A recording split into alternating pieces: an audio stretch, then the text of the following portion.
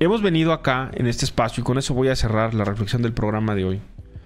Hemos venido en este espacio hablando de la percepción, percepción de que el gobierno de México y la Secretaría de Salud no está dando toda la información sobre eh, el número de casos reales que hay en el país. Debo decir que no es algo que, de, de lo que se le acuse solamente al gobierno de México y no es ninguna disculpa para el gobierno de México es un fenómeno que se ha dado en otros países. En Chile, en Argentina. Eh, hay ahora un gran jaloneo en Ecuador. ¿Por qué razón? Porque la Organización Mundial de la Salud ha recomendado que una estrategia para detener el contagio es, uno, aplica el mayor número de pruebas posibles. Dos, una vez que encuentres una persona enferma, aíslala. Tres, identifica con quién tuvo contacto y aíslalos también. ¿Sí? Para romper la cadena de contagio. ¿Por qué razón? Porque esta, esta, ya lo hemos dicho también, esta enfermedad tiene la característica de que una vez que alguien tiene el virus, yo tengo el virus ahorita, y estoy aquí hablando con ustedes y no tengo ningún problema, no estornudo, no toso, no tengo fiebre, nada. Pero ya tengo el virus. Estoy hablando y estoy lanzando partículas de, de saliva con el virus. Si alguien con quien estoy, estoy cerca le entra el virus, porque lo toma con su mano, se contagia, tampoco lo sabe y va a tardar a lo mejor 15 días en saberlo.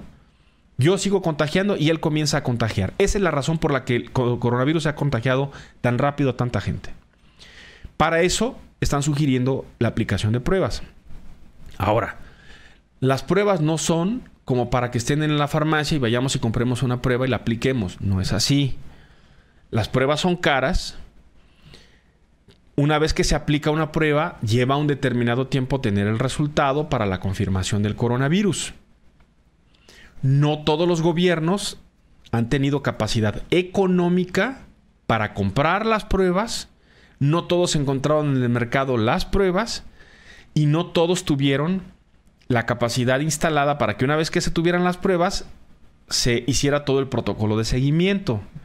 En México, lo que nos dijo la Secretaría de Salud a través del doctor López Gatel es que la aplicación de pruebas no tenía sentido porque en México se tenía el famoso sistema de vigilancia que se implementó para la influenza, reconocido por las autoridades internacionales de salud, la Organización Panamericana, la Organización Mundial de la Salud, y se llama Sistema Centinela. ¿Sí? Por esa razón, no se han aplicado tantas pruebas ni se compraron pruebas. Hoy publica, y se las recomiendo, en el diario financiero, Raimundo Riva Palacio publica un dato muy interesante porque efectivamente en Estados Unidos los laboratorios Abbott, se publicó la semana pasada, lanzaron al mercado una prueba inmediata, una prueba rápida.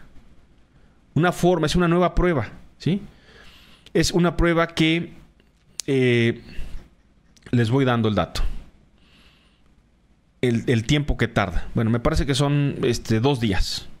Pero es una prueba inmediata. Se aplica y tiene muy buenos resultados. Es muy precisa. Entonces, dice en su columna eh, Raimundo Riva Palacio que los representantes de laboratorios Abbott fueron a dos lugares con su presentación una vez que probaron que su prueba sí servía. A la Casa Blanca y a México y dijeron, oigan, desarrollamos esta prueba, es muy rápida, no es muy cara. Y en Estados Unidos les dijeron, venga, y se las compraron. Y son las pruebas que están aplicando en Estados Unidos. Y en México, ni les hicieron caso. Ni les preguntaron cuánto cuesta. Nada, nada, nada, nada. Los batearon, pues. ¿Por qué? Porque la idea es que no se apliquen pruebas, menos ya en este momento. Si no lo hicieron antes, no lo van a hacer ahora hay la idea, idea, porque ya se sabrá más adelante con pruebas, que el gobierno de Jalisco, por ejemplo, intentó comprar pruebas por su, por su cuenta para poderlas aplicar y misteriosamente se las cancelaron. ¿Por qué? ¿Para qué? Pues porque si aplican pruebas, ¿qué se mueve el número de casos? Y si se mueve el número de casos, ¿a qué llevaría a mover el número de a mover la fase? Acercarnos a la fase 3. ¿Qué significaría la, fase 3? Lo que significa la fase 3 es cuarentena obligatoria. ¿Qué es lo que no quiere el gobierno de México hacer antes del 30 de abril? La cuarentena obligatoria. ¿Por qué? Porque si ya estamos viendo las broncas económicas que hay ahora con esta cuarentena voluntaria y este cierre parcial de empresas, ¿no? Imagínense lo que pasaría en una cuarentena obligatoria social y económicamente. El, gobierno no quiere. Y entonces la duda y la pregunta que tenemos todos es, ok, pero entonces ¿cuál va a ser el impacto en materia de salud? Lo que el gobierno está planteando es que estas medidas que han, tomando, que han tomado provoque que el contagio se alargue.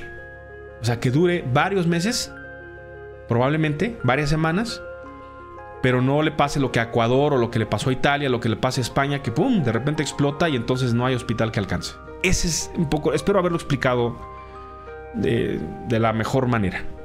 Es un tema más, más complejo, pero ese es un poco el escenario de la razón por la que no se aplican pruebas por la que no se van a aplicar más pruebas y por la cual el gobierno tiene el monopolio de las pruebas y los datos.